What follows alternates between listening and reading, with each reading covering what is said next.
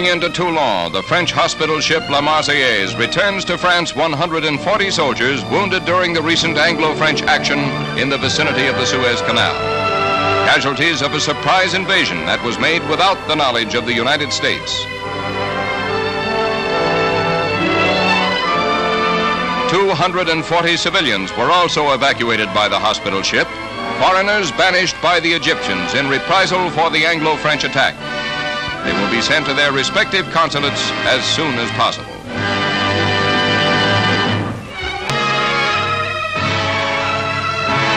Shocked by the recent easy defeats of the regular Egyptian army and its loss of nearly all the weapons supplied it by the Kremlin, the citizens of Cairo formed a liberation army, a force of civilians which staged this resistance parade to attract recruits.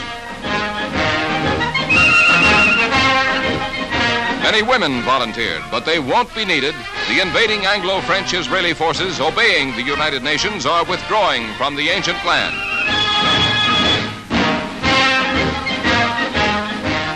Egypt wasn't off the critical list a day when Syria, another of the world's most ancient lands, became a trouble spot. With a case of jitters that set it training a great number of so called volunteers to handle the arms it too was supplied by the Kremlin. Without rhyme or reason, Damascus, encouraged by Soviet propaganda, says it is going to be attacked by the West. And it doesn't want to suffer the fate of Egypt and lose all its new arms to ignorance in handling them.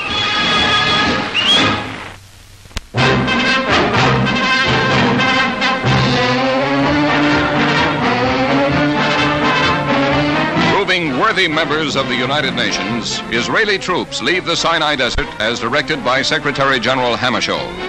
True, they've rid the region of the sneak raiders on Israel who made it their home. But the action shows the Republic to be aware of its international obligations and its desire for peace. But at Haifa, the arrival of new hundreds of Jewish refugees must make Israel wonder if its peaceful overtures are not misunderstood.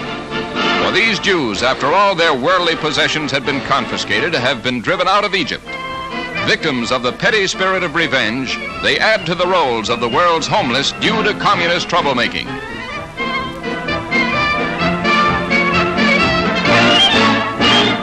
In comparative peace after many troubled months, Nicosia on the island of Cyprus feels the gasoline shortage caused by the Suez Canal crisis.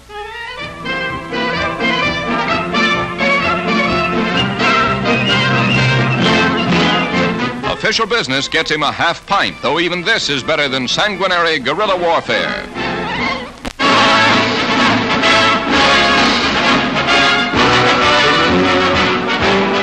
The first NATO Council meeting since the breach between the Allies over the Suez brings Secretary of State Dulles to Paris to try to end the discord caused by the Anglo French action in Egypt. Selwyn Lloyd, British Foreign Minister, and French Foreign Minister Christian Pineau are in a conciliatory mood for the meeting, which becomes a forum for interpreting the foreign policies of all member nations.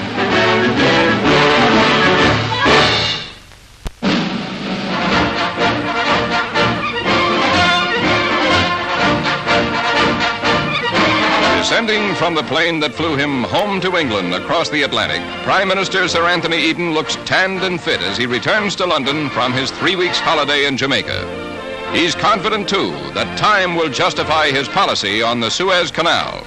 The formation of a United Nations force could be the turning point in the history of the United Nations. I am convinced more convinced than I've been about anything in all my public life. That we were right, my colleagues and I, in the judgment and the decision we took, and that history will prove it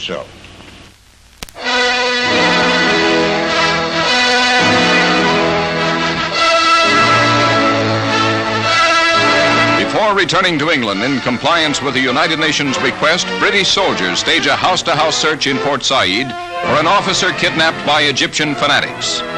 Every building of the Suez Canal city is systematically explored for the missing man, a 20 year old officer of the West Yorkshire Regiment. A car used by the abductors was found covered with bloodstains as the British round up and question all Egyptian males over 15. some of whom were held.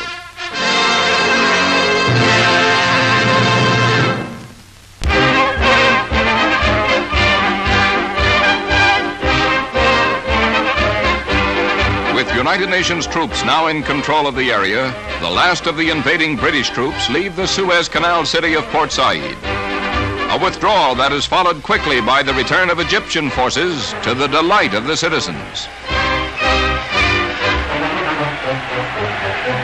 An effigy of a British Tommy is hung as a mob of Egyptians go on to demolish a statue of De Lesseps.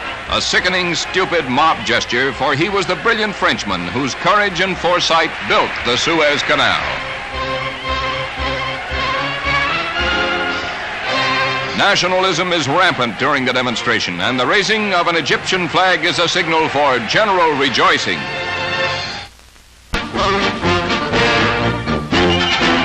The western end of the Suez Canal, the Danish salvage ship Protector puts over the first divers who will actually start working on submerged ships that are blocking the waterway.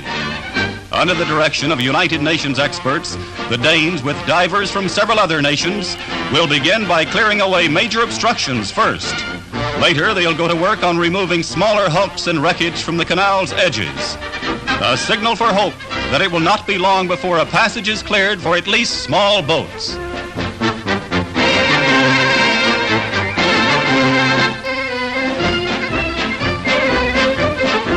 At Port Said, the last batch of Egyptian prisoners of war captured during the Anglo-French invasion of the Suez Canal zone are being repatriated. These particular men were fortunate in falling into the hands of the considerate British Tommies. And now, all cleaned up and well fed, they go back to Cairo, none the worse physically for their experience. Of course, they're a little chagrined at the ease with which they were captured.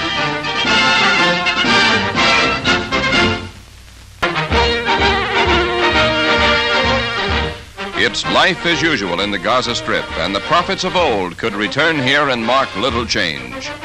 The momentary excitement caused by Israel's cleanup of raiding Fedayins in the Sinai Desert is over, and Jeremiah or Mohammed could feel at home in these marketplaces. A United Nations truck lends a note of modernity to the scene, which shows the Western world conforming to a Christian principle. An enterprise of care, the package purveyors, which sees to it that the children of the Arab refugees living in the Strip are fed.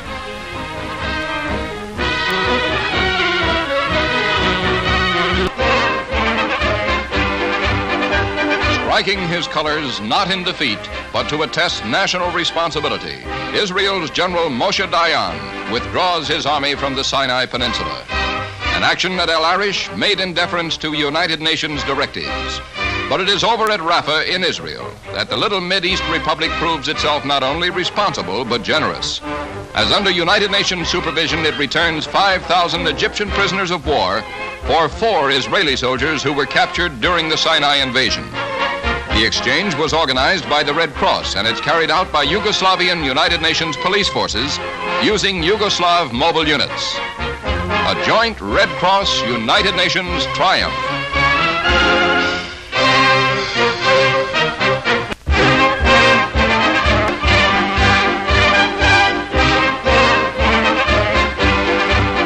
Crisis in the Middle East over Israel's last minute delay in withdrawing its forces from disputed areas brings U.S. Ambassador Lawson to see Premier David Ben Gurion at Tel Aviv.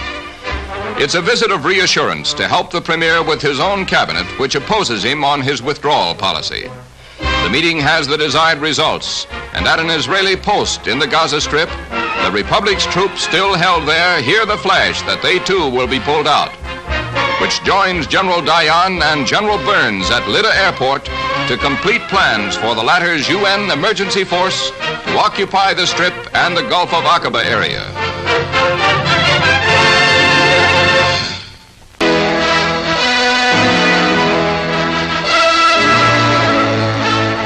Protesting giving up the Gaza Strip and the Aqaba area, the populace of Jerusalem gives the police a hard time. But Premier Ben Gurion's policy to heed the United Nations appeal to Israel prevails. A decision causing the evacuation of Sharm el Sheikh, commanding the entrance to the Gulf of Aqaba, with the Republic's troops being returned to Eilat at the head of the Gulf. Biblical Gaza, too, is affected, and Canada's General Burns, heading a UN emergency force, confers with Colonel Lindquist, commander of a Danish unit that is taking over this section from the Israeli, aided by a crack Canadian contingent. General Moshe Dayan, who led the lightning strike against the Egyptians, directed the evacuations in both areas, movements that continued without cessation, round the clock. Communist provocateurs have been active in the city of Gaza, and spurred by these hate mongers, the natives shout obscenities at the UN force and later stone the men. Meanwhile, in Washington, President Eisenhower signs the bill that makes his Mideast doctrine effective. He describes it as an expression by Congress and the administration of a determination to help Middle East countries preserve their independence, a pledge in the interest of world freedom.